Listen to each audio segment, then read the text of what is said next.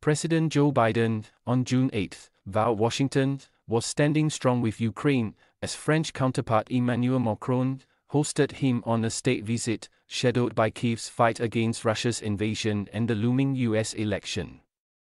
Speaking after visiting Normandy earlier this week to mark 80 years since D Day, Mr. Biden repeatedly emphasized the value of America's European alliances in a swipe at his more isolationist election rival Donald Trump. With Ukraine struggling to repel Russian advances over two years into the war and in desperate need of greater Western military aid, Mr. Biden insisted that under his rule, the United States would not flinch in its support. Putin is not going to stop at Ukraine, Mr. Biden said, alongside Mr. Macron, after talks at the Elysee Palace.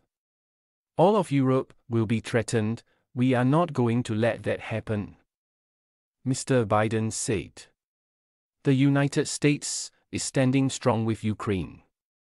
We will not, I say it again, walk away, he added. Mr. Biden, 81, is set to face his Republican rival and predecessor Trump later in 2024. In presidential elections, that commentators predict will subject U.S. democracy to a severe test. Trump has also signaled his lack of interest in international organizations including NATO and previously boasted he could solve the Ukraine conflict within 24 hours if elected. Mr. Macron, 46, emphasized the unity with the US under Mr. Biden and expressed gratitude for his counterpart's approach to Europe.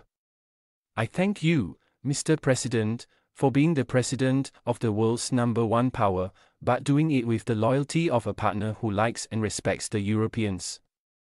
He said. He said Paris and Washington also shared the same views on Iran, accusing Tehran of pursuing a strategy of escalation at all levels. Our two countries are determined to exert the necessary pressure to stop this trend. He said. Mr. Biden has been in France since June 5 and took part in this week's commemorations, marking the 80th anniversary of the D Day landings in northern France, involving US, British, Canadian, and other foreign troops that changed the course of World War II. Also invited to the ceremonies was Ukrainian President Volodymyr Zelensky, who told Mr. Biden in a bilateral meeting on June 7 that Kyiv was counting on shoulder to shoulder support. Expressing regret over how an aid package for Ukraine was held up in the US legislature, Mr. Biden said, I wish we could have done it when we wanted to six months earlier, but we got it done. The US and France are two of Kyiv's main Western backers since Russia unleashed its full scale invasion of its neighbor in February 2022. The US leader met Macron for talks at the Elysee Palace.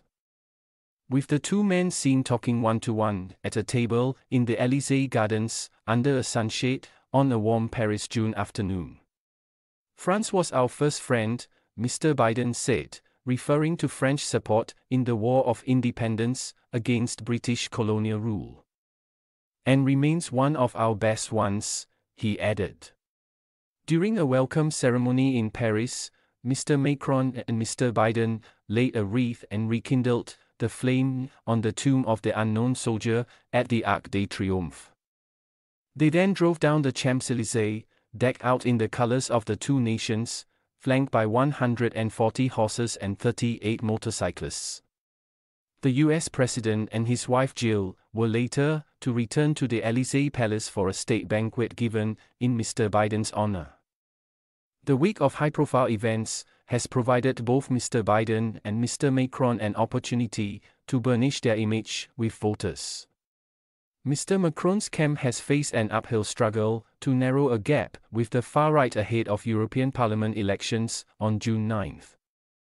After his own talks with Mr. Zelensky in Paris on June 7, Mr. Macron said he wanted to finalize the creation of a coalition of military instructors to train Ukrainian troops in the coming days.